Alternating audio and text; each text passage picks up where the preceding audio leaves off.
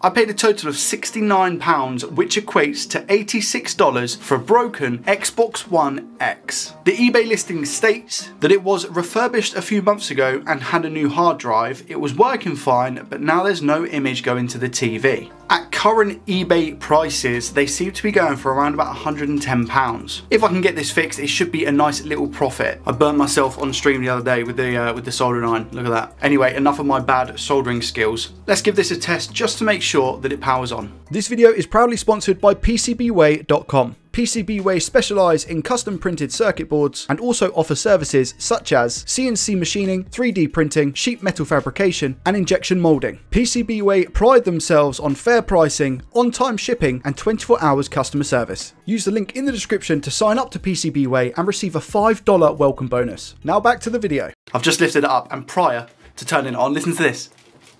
There seems to be some rattling. This makes me very scared. Right, let's turn this on. I know what you guys are thinking. Joey, are you sunburnt again? Yes, I am. Here we go. We get a beep and the button comes on. That's good.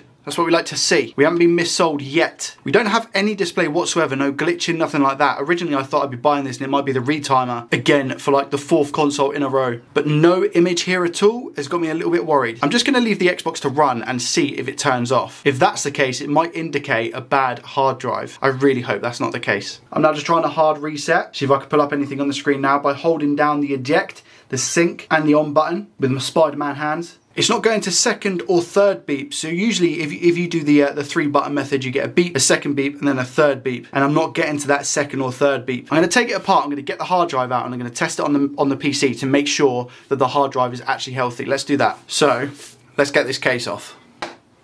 And here we have it. The hard drive should be under the disk drive, which is located on this side of the console here. And what I will say is that this is definitely a smoker's console. Look at the color. Look at the state of this, look all that smoke.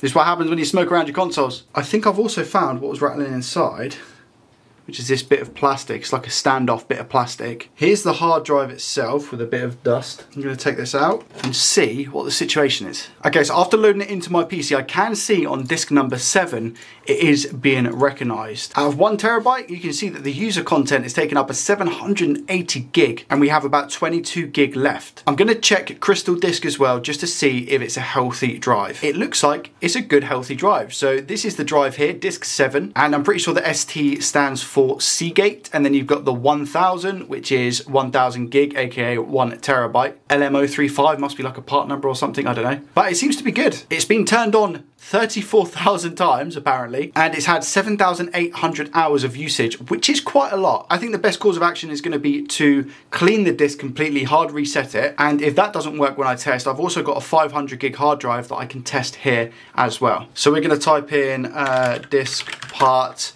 then we're going to do list disk, and that's going to show us just to make sure it was disk 7, if you guys remember. Then we're going to select the disk 7, and then we're going to clean. That's going to completely clean the drive, wipe it. Now we're going to quickly format it because it's not been formatted. We right click, new simple volume, next, and just pretty much next all of this. Lovely. I don't actually know if that step is still required, but I do it just in case. I think you can just clean the hard drive and then put it into the Xbox.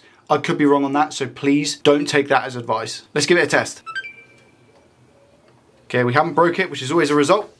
Do we get anything on the screen? Still nothing on the screen, that's fine, and it's been it's been a good 30 seconds now, so I'm gonna turn it off and we're gonna try the 500 gig. The 500 gig hard drive is in now, let's turn it on and see if that worked. Nothing. Now what I think we need to do is investigate a little bit around the board to see what's going on. The HDMI port looked fine. I looked at the listing when I purchased this and I knew it wouldn't be the HDMI port, but I'm gonna double check that now. Could still be the retimer, just showing a blank screen. It does happen. This one is the port that we should be worrying about, but again, to be honest with you, it's very sturdy.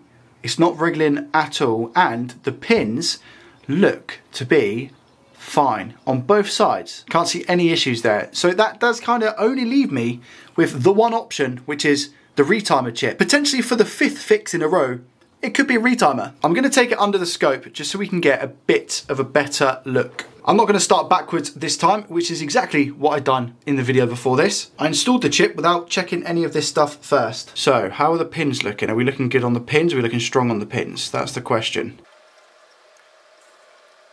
We're not Ooh, wait a minute. That pin's a little bit loose for my liking. I'm going to check for continuity from this pin. I mean, it's, it is strong, but I, I, just saw it wiggle, so I'm a little bit conscious of that now. You can see where the trace is here. It follows, it goes all the way down, and it goes to this side of the field here. So I'm going to put one probe here and one probe on the actual pin itself. Okay, I think, I think we're okay. I'll go to the other side just to make sure as well. Yeah, we're fine. Okay, I think that I think that's all right. And if I put the board up like that, it all looks factory and it all looks secure. Whilst we're here, we're going to test the filters in continuity mode. So I want to hear a beep like this when I check vertically across the filters. They're all good. They're all good. This, I think is called a I don't know what it's called, I'll be honest. it's another type of filter. ESD filter could be like ridiculously wrong. The meter's in diode mode and what I'm going to do is just check what readings I get on each of these capacitors and resistors. I believe these two are resistors and these ones down here are resistors and we have caps here and caps here. I think what I'm looking for is around about 0.6. They're all showing as 0.6. One of them was 0.7. I've lost it now. This this cap here was 0.7 and this cap here is 0.2, but I actually think that's normal. And this scratch here was me. What's that? Is that a... Oh, it's, it's dust. I think it's safe to say we've done our thorough checks this time. I'm going to remove the retimer chip. This is what this chip is. This chip specifically is a TDP158. I believe the one on the Xbox One S is a TDP159. The 159 on the Xbox One S won't work on this board. But the 158, which is what we have here, will work on the Xbox One S.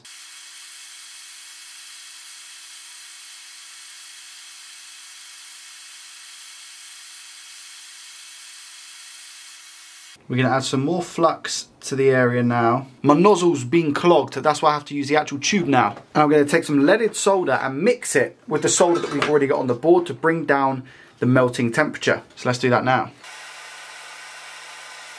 I'm going to change tip.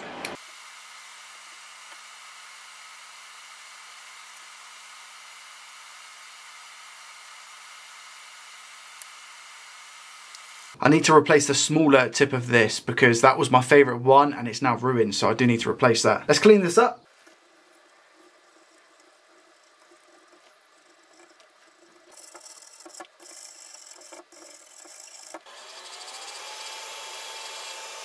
Here's the new chip that we have. And as you can see, you've got the uh, two spots on the bottom right hand side. You've got one on the chip and you've got one on the board. So this is the orientation that the chip's gonna go and we're gonna place it right here. But we're gonna heat up the board first with some flux, etc. And I'm also gonna turn it around a little bit actually. Temperature wise, we're gonna go 450 degrees Celsius now because we've got the leaded solder mixed in with the original solder that was on the board. So it should bring that melting temperature down a little bit. And it's less of a chance of breaking the chip with heat. Airflow speed is 50%. More flux, and here we go. Wait for the solder to wet. There it goes, see it? We're to put the chip on slowly. Oh, shaky today. Try and position it as best I can. There we go, pop, there we go. Oh, it's a little bit... I think we're going to have ourselves a lot of squeezage in a second. I'm going to put more flux on, come back in with the heat, hopefully watch it pop into place. It looks pretty good at the moment though, as it is. Yeah, I think that's good. So I'm going to come off the heat, then I'm going to come down with the tweezers and push down on the board. We should see some squeezage here. Get ready. Keep your eyes peeled. Oh, look at that. That's a big old bit. And then I come off release. Let's turn the board around. We're just gonna put some flux on again. It's really hard with the tube. I'm just gonna get that dot off. Just gonna tidy up all of those sides as well. Perfect. Rotate the board because I want to make it easy for myself.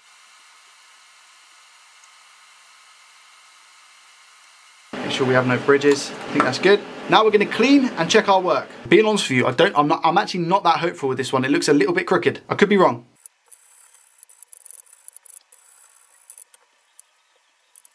Right, how are we looking? Come on, give it to me straight. Okay, that side's not bad at all. We like that. We like that a lot. Okay, nice. That's okay. We're okay with that. This side. Is that a bridge? No, it's not a bridge. I was, I was thinking on the left there, you see the top left pin, that's not a bridge, it's okay. And finally this side. Yeah, we're good. We're a little bit wonky, a tiny bit wonky, but that I'm okay with, I'm happy with. Let's give it a test. Okay, moment of truth. You can see the absolute cluster of a mess I have here. My flux and everything is just everywhere. The Xbox is barely assembled. I've got the fan, the heatsink, the hard drive and the power and then the power button at the front which you can't see just down here. Maybe this way is better. I'm gonna push power button on in three, two, one. It's on. I don't know how hopeful I am about this one, if I'm being 100% honest. So I won't be surprised if it doesn't, but it does. Let's go, come on, lovely. Stopping me mid-sentence and everything. The E105 error will be because we've completely wiped the hard drive and I need to put the operating spec of the Xbox back on to the hard drive. This is the one terabyte hard drive that I had at the start, but that is a result and I didn't actually expect it to work, seriously. Also, for the few amount of people that were asking, I now have a join button which you'll see down below. I think the membership is $4.99 a month. It supports me as a creator on the Joey Does Tech channel and you get some funny little emotes. And also when I live stream or you leave a comment down below, there'll be a little JDT icon next to your name. Big shout out to the people who have joined already. Thank you so much. I really appreciate you. And if you enjoyed this one, make sure you check out this video where I try and fix my very first Xbox Series X. Peace. Cheers for watching.